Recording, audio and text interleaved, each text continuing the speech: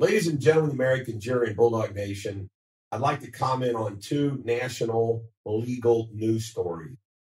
One, the Missouri Court of Appeals cut in half the four billion plus verdict against Johnson and Johnson over the talc powder ovarian cancer case.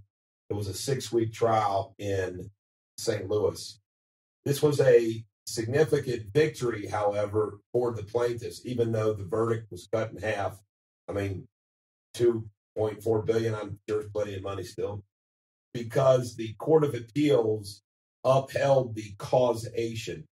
Causation is one of the most difficult things to prove uh, in a case.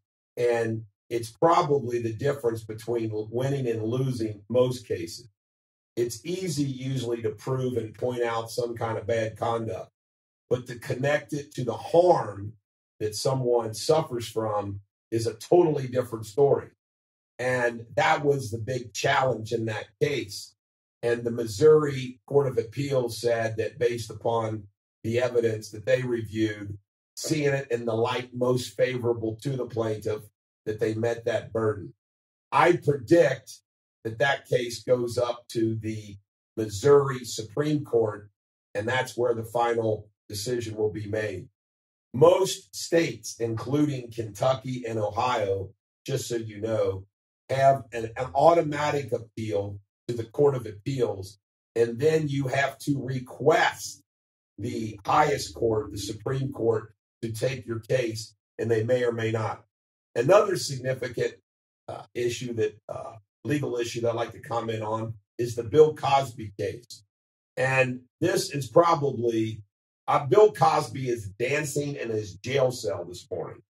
Uh, this is reported from the Associated Press. The Supreme Court of Pennsylvania has agreed to review two aspects of the case, including the judge's decision to let prosecutors call the other accusers to testify about long ago encounters and also whether they should have heard evidence that Cosby had given quaaludes to women in the past.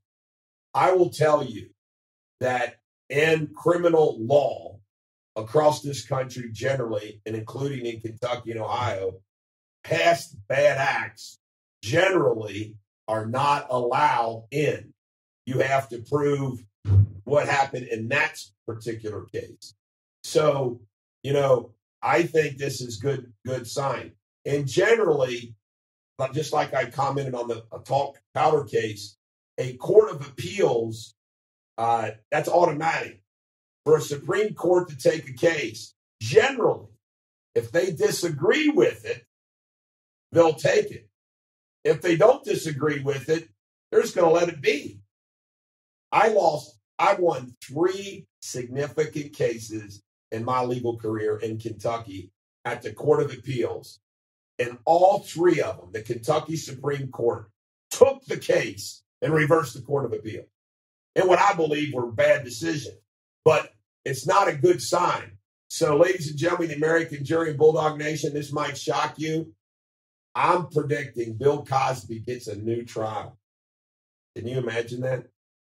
One of the things I'll bring up as it relates to this in the Durrani cases, we have had a judge, Judge Crawford, on the record say that to prove fraud in our cases, we should be allowed to bring every plaintiff into the courtroom where Durrani lied to them and said, Your head's going to fall off, you're going to be in a wheelchair, you're going to die if you don't have this surgery, which we think is completely relevant.